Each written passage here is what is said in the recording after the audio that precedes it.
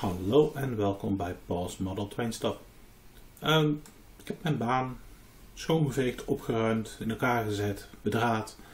En eh, ik ben toe aan het eerste rondje rijden. Ik eh, weet dat op een paar plekken niet genoeg stroom zit of de stroom nog niet helemaal in orde is. Maar ik denk dat ik wel een paar meter moet kunnen rijden nu. Ik heb hier een, eh, een setje ehm, Pico Radeon 189's staan. Uh, met daarachter uh, wagons vol met schroeven, moeren, pinnen, rommel, goed zware. Dat is ook om te kijken of dat die, de, de, baan die ik hier aan de zijkant heb gemaakt, of dat die. Hier zo. En ook om te zien of dat ik... eigenlijk moet ik er daar één voor gebruiken om te kijken of die goed omhoog komt. En ik heb hier wat, uh, wat plekken zitten die ik niet helemaal zeker van ben of die goed stevig zijn. Dus uh, ik ben benieuwd. Uh, laat ik eens kijken of deze wil rijden. Ik weet dat deze sowieso wat lastiger rijden met z'n tweeën. Eens kijken of ze willen. Ja, ja, nou. Met moeite. Misschien moet ik er de voorste gewoon van afhalen.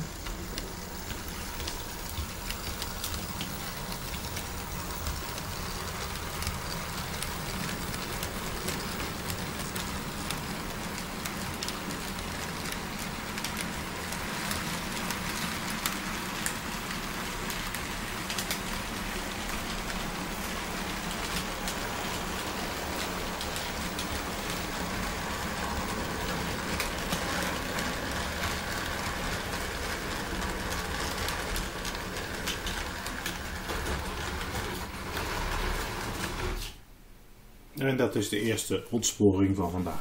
Mijn baanovergangen zijn nu op uh, stukjes hout gelijnde stukken rails. En uh, ik ben nog bezig om ze goed en wel vast te zetten. Uh, dat het, het minder snel ontspoort. maar dat is in, in, ieder geval nog. dit is in ieder geval een van de plekken waar het nog goed misgaat. op andere plekken gaat het al beter.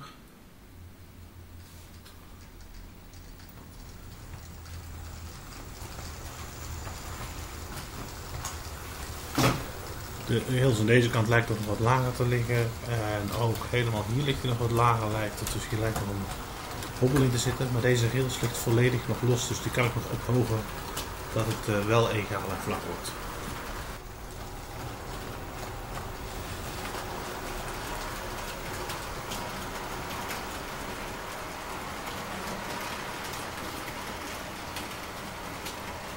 Ik laat de veegwagen een keer meerijden, want de rails is op veel plekken toch nog best vies.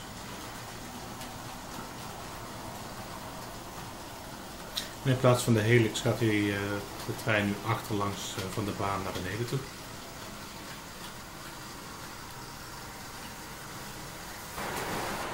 De onderkant van de baan is nog grotendeels hetzelfde. De treinen rijden hier onderlangs, het is, hij is wat verloren zie ik. Treinen rijden hier nog steeds onderlangs. En verwacht ik dat er daar uh, aan die kant ergens nog wat wagons uh, rond zullen slingeren. Uh, heel ver weg. En ik heb hem wel omgedraaid. deze kant die was eerst de verre kant, dus nu de kant die dichtstbijzijnd is. Even wat wagons zien te vinden en weer terug zien te krijgen.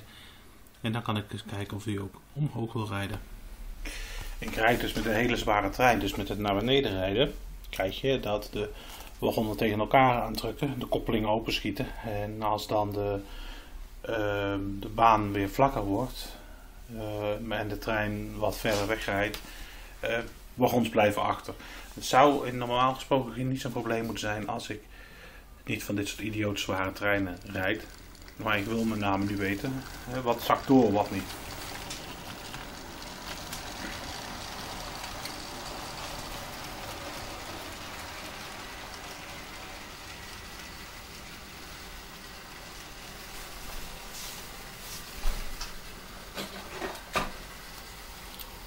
Deze. En deze gingen niet mee. ik heb er genoeg vertrouwen in dat hij die bocht doorkomt dat ik er niet bij ga staan. En ik hoop dat ik gelijk heb, anders dan moet ik... Uh...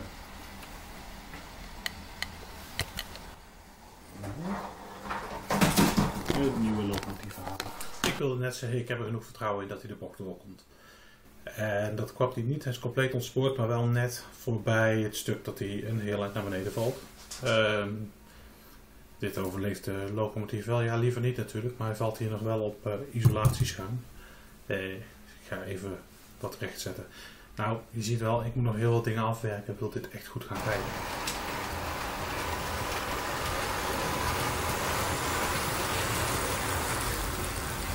Maar dit geeft wel een beetje aan wat de staat van de treinbaan nu is. Er zijn nog wat uitdagingen, los van de afwerking. En, uh, maar elektrisch, ik kan een rondje rijden, daar ben ik wel heel blij mee. En, uh, ik uh, ga de rest uh, van mijn tijd dit weekend spenderen aan dingen vastzetten en hopelijk ervoor zorgen dat ze minder ontsporen. Ehm, ik heb wel gezien dat er niet heel veel doorboog met deze best zware trein. En nou, nog een beetje knutsel. Maar ik ga hier nog niet mijn nieuwste, mooiste trein opzetten. Dat weet ik wel. Dat vind ik nog net iets te link. Tot zover. Bedankt voor het kijken. Eh, like en subscribe. En tot de volgende keer. Oh, en nog voor de liefhebbers. Ook dit bord is weer een beetje bijgewerkt. Nieuwe Arduino's erop, nieuwe software erop. Ik draai nu DCC X4. Uh, bekabeling is uh, ook allemaal vernieuwd. En nog niet alle bekabeling zit erop. Er ligt nog wat los. met name voor de wisselaansturing. Maar het begint goed te komen.